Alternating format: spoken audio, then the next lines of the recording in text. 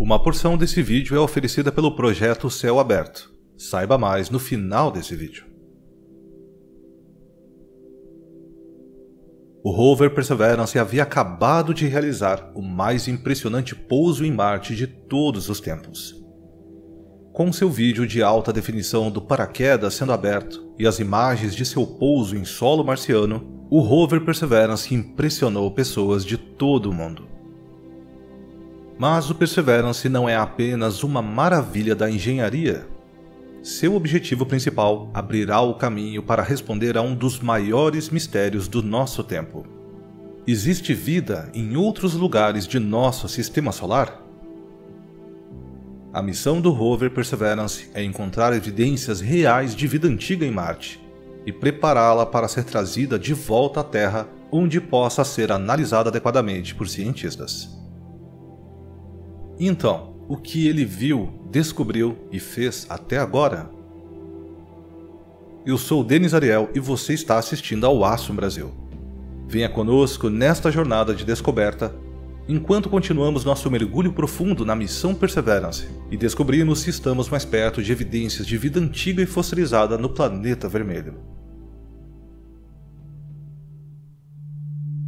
Quando rover ligou suas câmeras e vislumbrou os arredores pela primeira vez, ele se viu olhando para a paisagem vermelha, árida e solitária que esperamos de Marte. O terreno ao redor era principalmente plano, embora intercalado com afloramentos rochosos. E isso foi intencional. Os cientistas deliberadamente trouxeram Perseverance para um lugar onde suas rodas pudessem transportá-lo livremente e onde poderia encontrar locais de particular interesse científico. Para isso, eles escolheram a cratera Jezero. Com cerca de 45 quilômetros de largura e ao norte do equador do planeta vermelho, Jezero existe em Marte há pelo menos 3,5 bilhões de anos. Mostrando sinais de deltas antigos, parecia um excelente lugar para começar a busca por vida alienígena antiga. Essa vida pode apenas ter atingido o nível de organismos bacterianos. E, portanto, as pistas sobre sua existência podem ser igualmente minúsculas, tornando essa busca ainda mais difícil. Entretanto, os cientistas estão à procura de sinais de quaisquer formações na rocha que não pudessem ser razoavelmente explicadas por processos geológicos. Isso pode oferecer dicas tentadoras ou até mesmo uma prova definitiva de antigas bactérias marcianas. Graças aos afloramentos de rocha que cercam a cratera, o Perseverance é capaz de coletar amostras de rochas de muitos períodos geológicos diferentes, sem precisar fazer grandes perfurações, ajudando os cientistas a juntar as peças faltantes na história geológica da cratera Jezero, para então obter uma solução ao quebra-cabeças dos locais mais prováveis para encontrar vida. Muitos pensaram que tão logo o rover Perseverance pousasse em Marte, começaria imediatamente sua jornada em missão, já que graças aos afloramentos de rocha que cercam a cratera, o rover poderia coletar amostras de rochas de muitos períodos geológicos diferentes, dando-lhe muitas oportunidades para começar sua busca. No entanto, não foi exatamente o que aconteceu. Apesar de pousar em Marte em fevereiro, somente quase cinco meses depois que o rover Perseverance fez seus primeiros movimentos para iniciar a sua jornada. E isso não ocorreu apenas porque os cientistas levaram tempo testando cuidadosamente cada peça do equipamento científico e seu software, para garantir que tudo estivesse funcionando sem problemas. E sim, devido ao rover Perseverance não estar sozinho por lá. Na verdade, o Perseverance tinha um pequeno companheiro de viagem, Aninhado ao trem de pouso do rover e escondido por um escudo de poeira dos ventos e da atmosfera marciana, o Perseverance trouxe consigo um segundo passageiro menor para Marte. E grande parte dos primeiros meses do tempo do rover foi gasto ajudando a trazer esse segundo passageiro ao mundo. Além deste segundo passageiro ser o companheiro de viagem do rover, era também uma interessante demonstração tecnológica. Este robô menor não era um rover, seu nome é Ingenuity e foi a primeira tentativa de voo de um helicóptero em Marte. Depois de realizar vários testes no software e hardware do Perseverance, os cientistas voltaram sua atenção para este pequeno drone de 1,8 kg. A atmosfera em Marte é cerca de 100 vezes mais fina do que a da Terra, tornando incerto se as pás giratórias de um helicóptero funcionariam lá. Seria difícil deslocar ar suficiente para criar sustentação. Para compensar isso, o Ingenuity foi projetado para ser incrivelmente leve e seu rotor é capaz de fazer mais de 2.700 rotações por minuto. Seu único equipamento científico é uma câmera que se tornou inestimável para ajudar o Perseverance a encontrar as melhores rotas pelo potencialmente complicado terreno marciano. Então, no dia 21 de março, quase um mês após o pouso, os trabalhos começaram. O Perseverance começou removendo sua proteção contra a poeira, permitindo que o Ingenuity sentisse pela primeira vez o ar marciano.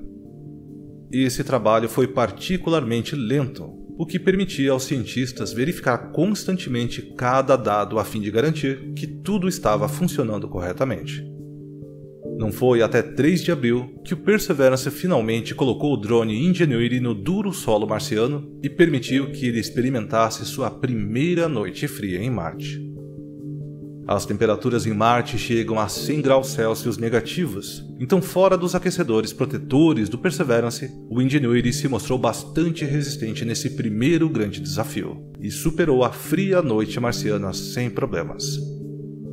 Os cientistas ficaram encantados com o fato de essa parte da missão ter ocorrido sem problemas.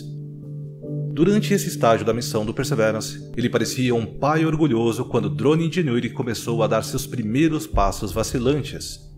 Embora, assim como um pai orgulhoso, o rover não resistiu a tirar uma ou duas selfies para se exibir para seus amigos na Terra. Os primeiros voos do Ingenuity não ocorreram completamente sem problemas. Depois de dedicar tempo para testar seus rotores em velocidades variadas, o Ingenuity enfrentou alguns problemas de software que preocuparam os engenheiros que trabalhavam nele. No entanto, em 19 de abril, o Perseverance registrou um vídeo enquanto o drone movido a energia solar tentava o primeiro voo controlado em outro planeta. O voo foi feito de forma autônoma, já que o tempo que levaria para um sinal viajar da Terra a Marte criaria muito atraso para tentar voar remotamente. E havia muitas incógnitas. Marte tem menor gravidade em comparação à Terra, sem mencionar o ar rarefeito, o que significa que testar o rotor na Terra não era garantia de funcionamento em Marte. É difícil replicar corretamente a gravidade mais baixa na Terra, por exemplo. Mas, felizmente e com incrível suavidade, o Ingenuity subiu para uma altitude de 3 metros e permaneceu pairando lá por 39,1 segundos, exatamente como planejado. Os cientistas ficaram muito animados quando a demonstração técnica proposta apenas seis anos antes provou ser um sucesso. Não se esperava que o Ingenuity durasse muito em Marte, mas ele continuou sua missão inicial de teste, voando mais longe e mais alto do que todas as tentativas anteriores. Não caiu não quebrou e, na verdade, tornou-se um explorador útil para o Perseverance, para encontrar boas rotas para o rover seguir ou para procurar pontos de interesse pequenos demais para serem detectados por satélites em órbita. O Ingenuity passou de uma demonstração de tecnologia descartável no início da missão para uma cúmplice e valiosa parceria ao rover Perseverance. Mas e quanto ao Perseverance? o rover marciano não estava completamente ocioso durante esse período. O Perseverance foi capaz de testar muitos de seus próprios equipamentos enquanto esperava pelo Ingenuity. Ele foi equipado com um microfone e os cientistas esperavam obter a primeira amostra de áudio da superfície marciana. Logo após o pouso em Marte, o rover foi capaz de fazer exatamente isso, nos dando nossa primeira ideia de como o vento em Marte soa.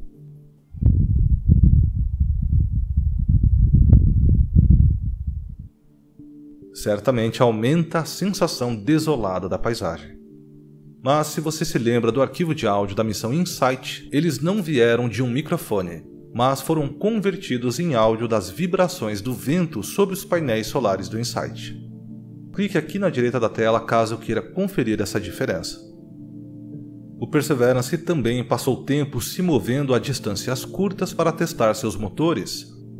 Registrou imagens panorâmicas da paisagem circundante e até mesmo extraiu com sucesso o oxigênio do dióxido de carbono da atmosfera do planeta vermelho, usando seu instrumento chamado MOXIE.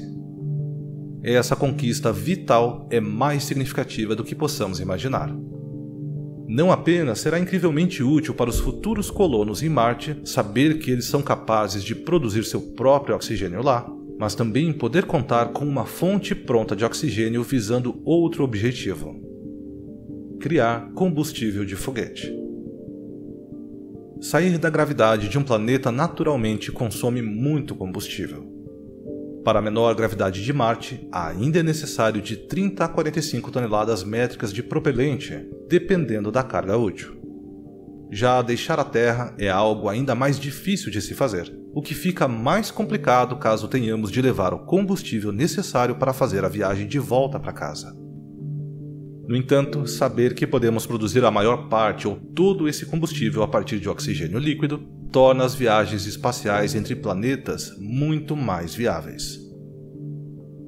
MOXIE, que significa Experimento de Utilização de Recurso Local de Oxigênio, conseguiu produzir cerca de 10 gramas de oxigênio em uma hora. O que não é muito, mas para ser justo, o MOXIE é apenas um protótipo do tamanho de uma bateria de carro precisaria ser 100 vezes maior se quisermos realmente usá-lo no planeta vermelho como suporte à vida humana. No entanto, apenas saber que funciona é um empolgante e promissor passo. Mas, por mais fascinantes que sejam todos esses feitos em Marte, havia algo que o Perseverance ainda precisava fazer. Ele tinha uma missão muito importante: descobrir se já houve vida em Marte. E assim, durante esse período de inatividade, os cientistas estavam ocupados traçando a melhor rota possível para Perseverance. Embora o pouso do rover tenha sido um dos feitos mais precisos da NASA em Marte, ele ainda estava a muitos dias de viagem de alguns dos afloramentos rochosos na borda de uma cratera conhecida como Sulfsita, que os cientistas queriam investigar. E entre Sulfsita e o local de pouso do Perseverance há um campo de dunas perigoso, cheio de areia solta, impossível para o rover cruzar sem correr o risco de ficar preso para sempre, o que significaria um fim prematuro para a missão. Os cientistas precisavam decidir a melhor rota possível ao redor das dunas. Era melhor viajar no sentido anti-horário ao redor da cratera, o que levaria o Perseverance aos afloramentos mais rápido? Ou seria melhor viajar no sentido horário, o que levaria mais tempo, mas permitiria que o rover parasse em rochas mais interessantes ao longo do caminho? No final, como costuma acontecer na exploração espacial, tudo se resumiu à eficiência a fim de permitir o máximo de coleta científica possível em um curto período de tempo, os cientistas escolheram a segunda opção. O Perseverance finalmente recebeu sinal verde para o início de sua jornada. E assim, em 1 de junho, quase cinco meses depois de chegar ao planeta vermelho, as rodas do Perseverance ganharam vida e o rover finalmente deixou a segurança de seu local de pouso e partiu em sua principal missão, coletar amostras de rocha do núcleo de locais que a vida poderia ter florescido para um posterior retorno e análise na Terra. E com isso, o rover Perseverance deu o passo inicial para uma séria busca por vida alienígena. E ele não estará sozinho nesta jornada. Então é isso. Como um helicóptero da NASA surpreendeu os engenheiros. Muito obrigado por assistir. Gostou desse vídeo? Então deixe o seu like e se inscreva no canal para não perder os vídeos seguintes. Quer saber mais sobre os desafios para a colonização do planeta vermelho? Clique aqui na direita da tela ou no primeiro link na descrição desse vídeo para um documentário muito especial. Já imaginou como é ter acesso a imagens geradas através de um observatório astronômico? Como é processar essas imagens? E já pensou em quão incríveis e fascinantes registros podemos ter? Então conheça o projeto Céu Aberto. Com o uso de registros feitos por um observatório astronômico em uma iniciativa para cientistas, para divulgadores científicos e principalmente para todos, com uma grande seleção de belíssimas imagens para compor um livro de astrofotografias. Visite o site céuaberto.space e conheça o projeto. E também conheça o canal Giro Astronômico, um dos parceiros e apoiadores dessa iniciativa. Você gosta do trabalho que fazemos aqui? Já pensou em ajudar o Astro Brasil? Então conheça a nossa página para apoiadores na plataforma Apoia-se e também o clube de canais aqui no YouTube. Além de ajudar o projeto, você também terá acesso a conteúdos exclusivos, como por exemplo, lives exclusivas para membros e apoiadores. Um especial agradecimento aos nossos queridos membros e apoiadores que todo mês vêm ajudando o canal a se manter. Muito obrigado e até o próximo vídeo.